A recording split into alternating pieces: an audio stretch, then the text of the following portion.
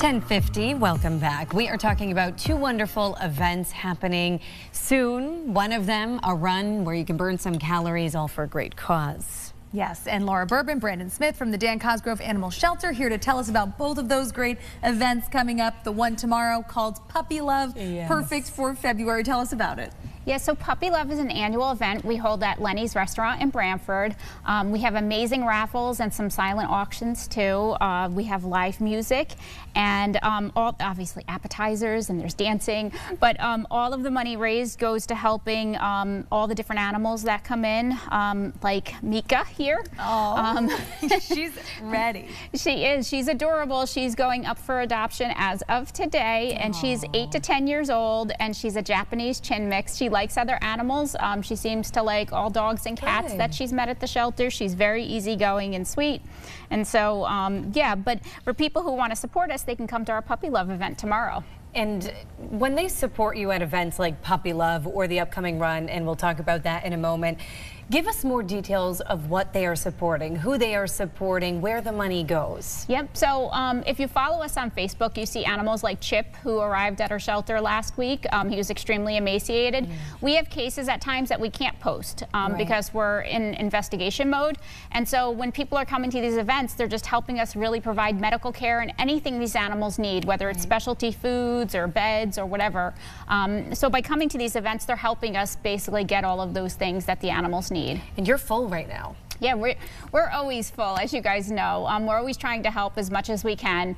And so we always have animals coming in. Yeah. But right now we have dogs, cats, guinea pigs, hamsters, bunnies. So if people are looking to adopt, we'd love for them to stop by. Oh, that is beautiful. great. And Brandon, another way people can help run for a great cause that's coming up in March. Yeah, absolutely. Um, thank you for having me on today. So March 24th, we're having the Run to Remember. It's going to be in Madison, Connecticut.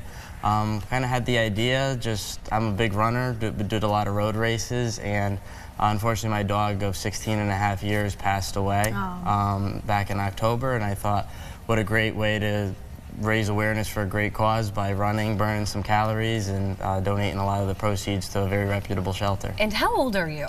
I'm 21 years old. 21 years old, looking to help out impact the community in a meaningful way. You talked a little bit about it being a personal connection for you, losing your dog, which I'm very sorry about. Um, what do you hope that these runners learn when they join you in March? Do you want them to give back to local shelters like the Dan Cosgrove Animal Shelter? What do you really hope runners take away? Well, I hope they can see that, um, well, at least from my personal experience, uh, Cody Bear was his name. He was my best Aww. friend, and um, that's something that I didn't have to um, search hard for. He mm -hmm. just just by having a dog and having having or a pet in general, um, that's a, that's your best friend waiting to be adopted. And hopefully by seeing more dogs and seeing um, seeing just like the camaraderie around uh, the event, that people will be more encouraged to go adopt their best friend and um, you know, make not only make their lives more fulfilling, but the, also the animals as well. Yeah, beautiful. That is very sweet. And Laura, very quickly before we go, let's tell people how they can come tomorrow, maybe uh, come to the run as well. Absolutely. So um, both events are on our website at BranfordAnimalShelter.org. They can also go and purchase tickets on our website um, for the Puppy Love event tomorrow. And they'll find the link um, also on our Facebook page to sign up for the run too. Beautiful. Perfect. Thank you both for being here. Keep up Thank the good you. work. Thank you. Thanks, Nika. We hope you find a forever home. We'll have all the info on our website, WTNH.com. Keep it here.